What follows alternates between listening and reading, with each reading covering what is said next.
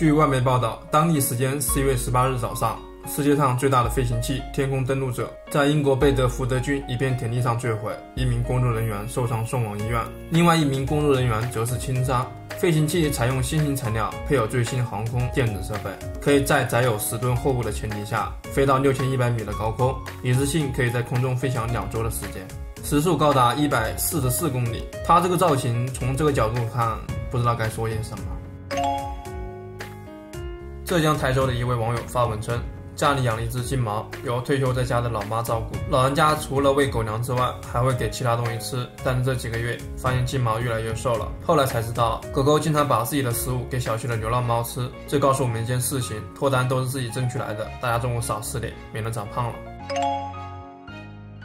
一份迟来的讯息。据外媒月初的报道，以色列的科学家用大鼠颈椎高位离断，也就是高位截瘫的大鼠做实验。一组做对照组，一组用人口腔黏膜干细胞在体外分化后，用 3D 模型支架移植到颈椎断端。三周后，移植组的大鼠百分之四十二开始行走，百分之七十五下肢有感觉，而对照组没有任何变化。让我们期待下一步的发展。据外媒四月十七日报道。意大利神经学家在维也纳召开新闻发布会，宣布，经过十八个小时的手术，他和中国哈尔滨医科大学的团队成功将一具尸体的头与另外一具尸体的颈椎、血管以及神经连接起来，刺激颈髓神经生长，最终让头部可与新的身躯连接。在此之前，成功为老鼠还有猴子移植过头部。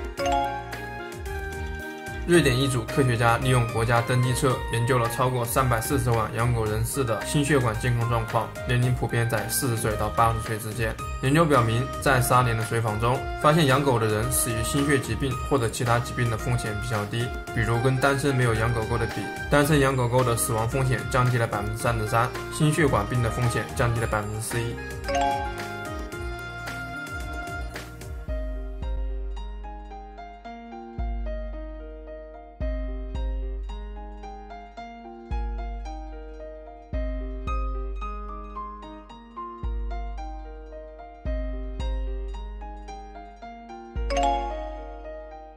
驻军到了中午的提灯醒脑环节。